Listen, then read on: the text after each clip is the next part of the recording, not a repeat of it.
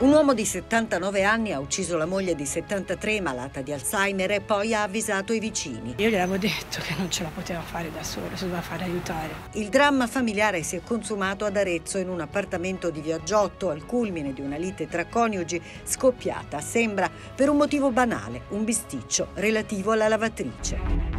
Era a mezzanotte circa quando Alessandro Sacchi ha preso una vecchia beretta calibro 9 ereditata dal padre ma mai denunciata e ha colpito la moglie, Serenella Mugnai, alla testa.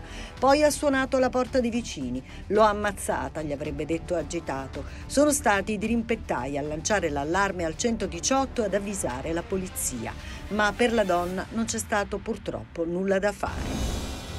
I medici hanno potuto solo constatarne il decesso. Gli agenti hanno trovato il suo corpo in cucina, lui seduto poco distante.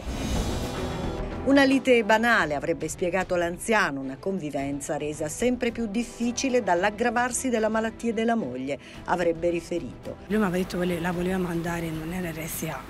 Io gli avevo consigliato di andare al diurno e mi aveva detto vado al punto insieme di, di, di via Curtatone, mi faceva sapere stamani, ma la coppia, senza figli, viveva in solitudine il disagio psicologico che da qualche anno aveva reso fragile la donna.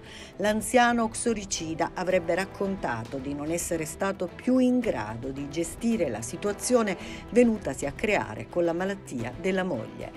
Alessandro Sacchi è stato trasferito in carcere per essere interrogato.